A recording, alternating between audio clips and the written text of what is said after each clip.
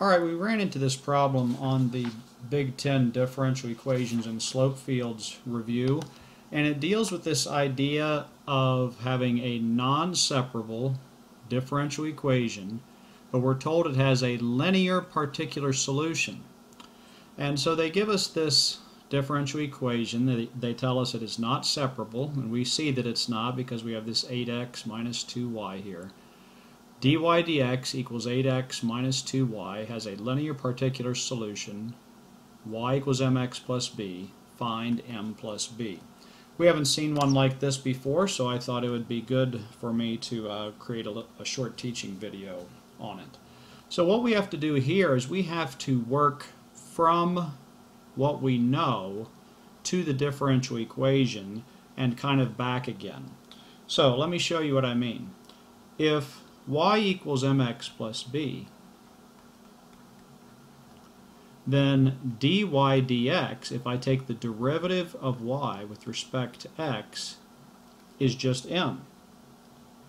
And look what I have here. I have a statement of equality that says dy dx equals m. Well, I also have a statement up here that says dy dx equals 8x minus 2y. So let's set m equal to 8x minus 2y. Well, I have another statement of equality right here that y is equal to mx plus b.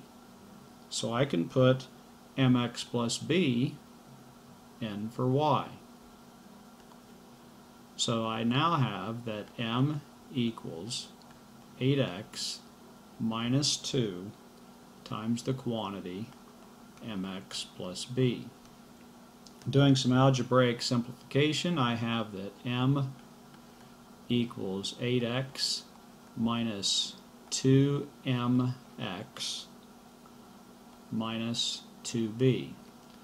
And then I have that m equals, if I factor out an x here, I have 8 minus 2m the quantity times x minus 2b.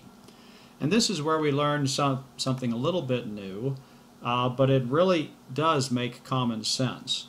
Look at what I have here. I have a statement saying that m equals this mess x minus 2b.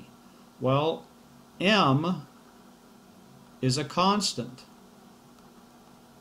Remember from our slope definition, y equals mx plus b, it's a constant. So if m is a constant, that means that this thing right here has to be 0. If it wasn't 0, this part, b, is a constant. All right this thing right here, this 8 minus 2m, has to be 0 or m would not be a constant. Or another way to think of this, there's a couple other statements here that we need to think about. If this thing is 0, then I could think of this as 0x plus m. Alright? So this thing needs to be 0 all right? And so if I keep going, if that thing's equal to 0, then I have this other little statement that's going to come in handy in a minute, that m is just going to be equal to negative 2b. Those two things right there are going to lead us to finishing this problem. Watch how easily it finishes up now.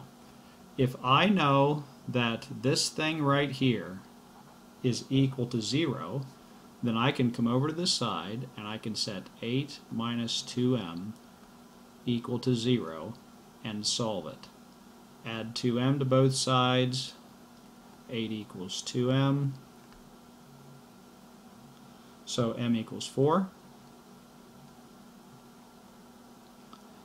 And if I know that m equals 4, and I also know that m equals negative 2b, then I can take the fact that m equals 4 and put it into here and I have that 4